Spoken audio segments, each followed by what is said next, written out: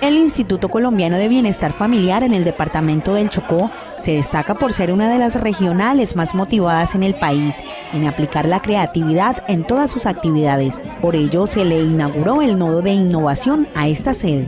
Se han destacado, han traído niños para eh, recordarle a la gente que siempre podemos ser niños, siempre podemos traer nuestra creatividad y nuestra imaginación, aplicar en el trabajo y solucionar problemas reales.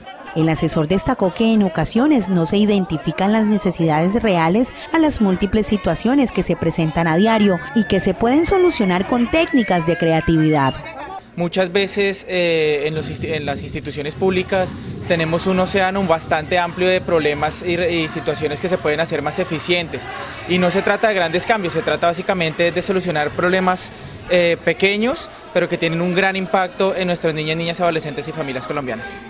Con los niños como ejes principales de la actividad lúdico-educativa, los profesionales del área de innovación buscaban que los colaboradores de la regional implementen soluciones creativas en el ambiente laboral. Este lanzamiento es en marco de una estrategia de innovación permanente que tiene el ICF que se llama EPICO, Estrategia Permanente de Innovación y Cambio Organizacional, por esos niños del Chocó y de Colombia.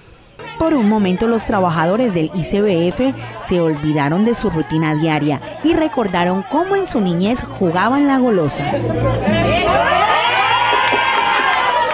Romper esos esquemas y romper esa cotidianidad es lo fundamental. Abrir la mano con abrir las puertas con la mano izquierda, eh, saludar a las personas que no siempre saludamos. Por favor, hagamos más eh, recreativo nuestro trabajo, ¿sí? Juguemos como cuando éramos niños, hagamos que el trabajo sea un juego, un juego responsable y productivo, pero que no se nos olvide que es divertido también. Cuando confrontamos las ideas de forma sana y pacífica, esta dinámica nos permite descubrir la creatividad que existe en cada uno de nosotros. Andrea Estrella Oliva, Telepacífico en la región.